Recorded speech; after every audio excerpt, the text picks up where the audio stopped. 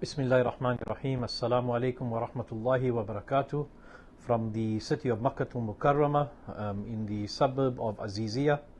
Alhamdulillah, we make dua that Allah subhanahu wa ta'ala grant all the Hujjaj, Hajj Maqbool wa Mabrur.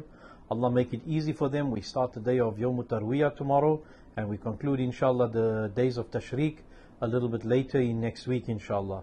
We certainly make dua that not only for the South African Hujjaj but all the Hujjaj that have converged for Hajj inshallah that Allah accepts from them and makes it easy for them and Allah subhanahu wa ta'ala grant Hajj Maqbool wa Mabrur and this message comes to you from the executive of the South African Hajj Umrah Council. Assalamu alaikum wa rahmatullahi wa barakatuh.